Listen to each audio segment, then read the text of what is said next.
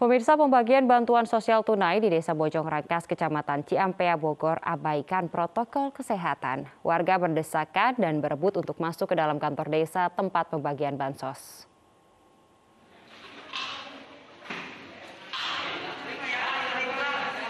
Ratusan warga desa Bojong Rangkas, Kecamatan Ciampea, Kabupaten Bogor, Jawa Barat berdesakan masuk ke kantor desa demi mendapatkan dana bantuan sosial sebesar Rp600.000. Warga rela berdesakan sehingga abaikan protokol kesehatan, seperti menjaga jarak, bahkan sebagian warga tidak menggunakan masker dengan sempurna. Untuk modal jualan dan jasa. Modal jualan. Teteh sendiri terdampak pandemi. Iya, suami digantiin kerja. Ya?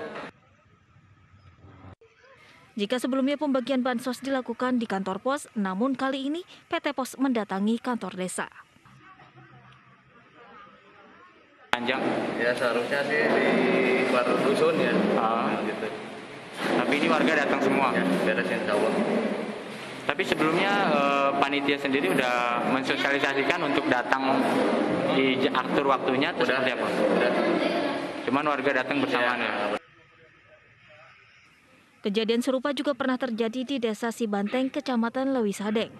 Warga berdesakan dan antri hingga berjam-jam demi mendapatkan uang bansos sebesar Rp600.000 tahap kelima dan keenam dari pemerintah. Dari Bogor, Jawa Barat, Wildan Hidayat, iNews melaporkan.